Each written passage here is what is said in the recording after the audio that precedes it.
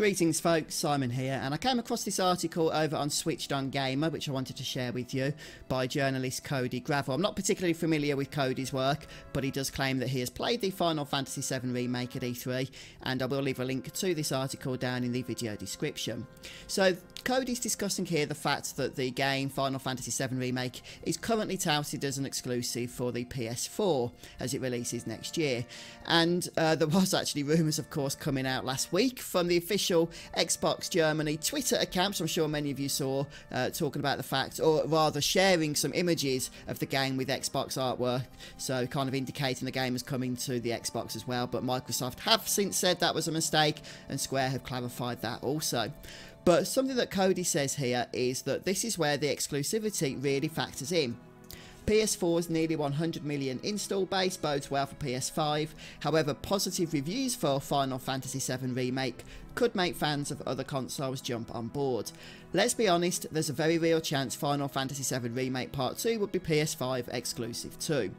That's surely a very tempting thought for Final Fantasy and JRPG fans. I don't think it's much of a secret to say that uh, Microsoft have historically anyway struggled to compete with Sony in terms of the gaming hardware market and they've often tried to innovate, often at a cost to business as opposed to as a boost to business when the Xbox One was announced as being online only and with the inability to trade games, a lot of people were not satisfied with that. Even though we're inevitably going to be getting to that point in the future, um, Microsoft I think were trying to innovate and push a little bit too early and Sony capitalised on that and made a lot of money by making fun of them. Now, I think Sony are again trying to get ahead of the curve here, and this deal with Square for the Final Fantasy VII Remake exclusivity has undoubtedly cost them a ton of money. But if this is more long term than we can initially see, right now we're just talking about the PS4 game next year. But if this is more long term, as Cody here suggests it might be, he's got no inside information, this is just his opinion. But if this is going to translate over to the PS5 era and the Xbox Scarlett era, which isn't going to be too far after the initial launch of Final Fantasy VII Remake, then this could have big implications to the early adoption of that next generation hardware. As I mentioned in a previous video, I already know with certainty because people have told me on my YouTube channel that they have actually gone ahead, that people have gone ahead and purchased a PS4 recently solely because of the Final Fantasy VII Remake being released next year.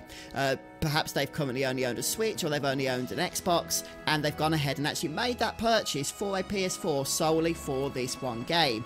And that's for people that already own a current generation console. Now think about it, if the PS5 is announced along with exclusive rights to to the next project in Final Fantasy VII Remake, how many sales are potentially Microsoft going to lose because people want to play the remake and so perhaps they might have chosen an Xbox otherwise but instead will be choosing to purchase a PS5. I reckon that figure could be somewhat substantial and as anybody in the, in the industry will tell you early adoption rates are super super important for console hardware not only for that initial boost in sales but over the uh, long term for the long term life of the hardware since if you don't get developers on board initially it's very hard to persuade them to come on over the long term. It's like the whole chicken and the egg thing if you don't get the customers to buy the console, you don't get the developers to invest in the console. You don't get the developers to invest in the console, then you struggle to continue to get customers, and so on and so forth. I think the Wii U struggled in that sense. Uh, Nintendo made mistakes, and a lot of the time it is down to marketing, isn't it? Because the hardware itself, I'm sure, is fantastic. The current generation of Xbox One is the you know the, the strongest hardware that's currently on the market, and yet it's still being trounced by Sony's PS4, which is a weaker form of hardware.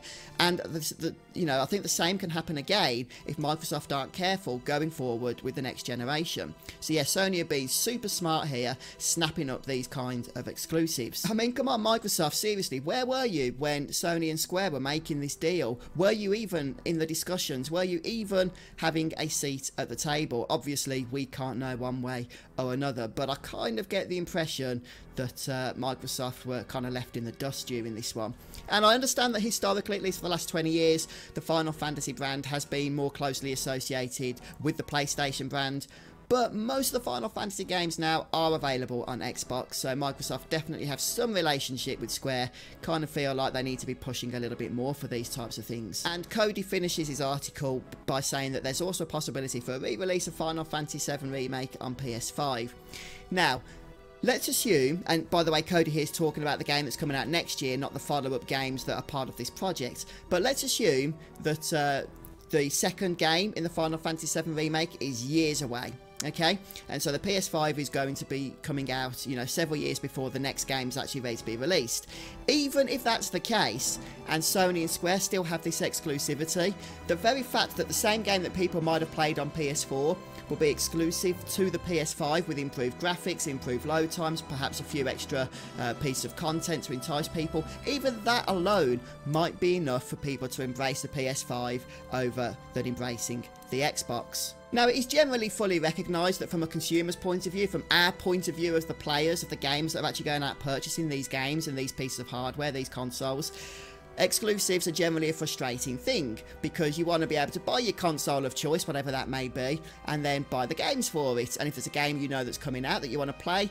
you want to be able to expect to play it on the console that you've purchased, especially a game such as Final Fantasy VII Remake, which would certainly be capable of being played on all of these different consoles, but because of the exclusivity arrangements, it's not going to be.